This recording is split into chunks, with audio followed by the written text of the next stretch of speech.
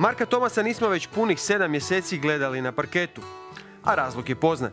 Potpuno puknuće Ahilove tetive. Ozljeda nakon koje se samo najjači i najuporniji vraćaju među natjecatelje. Situacija kod Marka sada je ohrabrujuća. Tetiva se oporavlja, a u međuvremenu puno je falio svoje cedeviti. Sad sam u završnoj fazi prije početka e, trčanja. Zadnje dva tjedna svakodnevno radimo na jačanju mišića potkoljenice i natkoljenice i već od sljedećeg tjedna bi trebao početi trčati i polako uključiti treninge i sa loptom.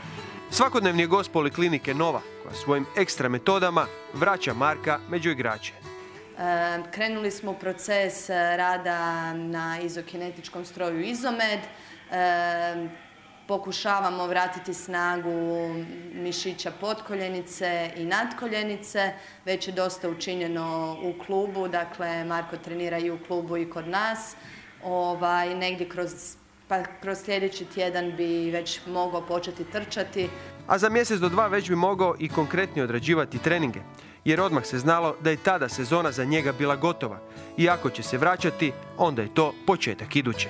Pa za mene nema odmora, naporno ljeto je pred, pred menom, dugo nisam igrao košarku, tako da uz e, fizičke probleme, uz probleme koje su nastupili nakon ozljede, treba je početi raditi sa loptom jer, jer to će mi biti puno važnije, najvažnije od svega.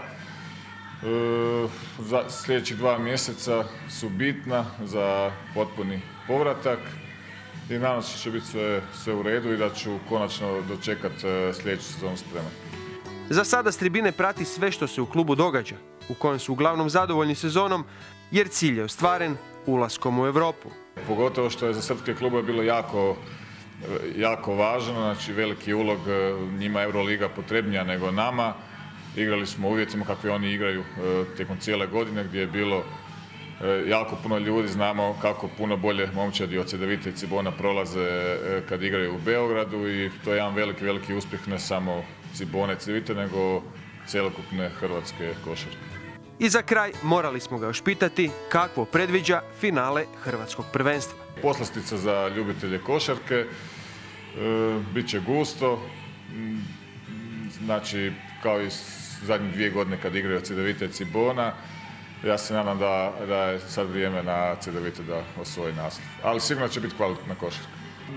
Ja već sam upoznat e, sa ovom poliklinikom, ne samo ove godine, nego i prošle. E, vrhunski ljudi, vrhunski stručnjaci i veliko zadovoljstvo mi je raditi ovdje i preporučujem svim sportašima.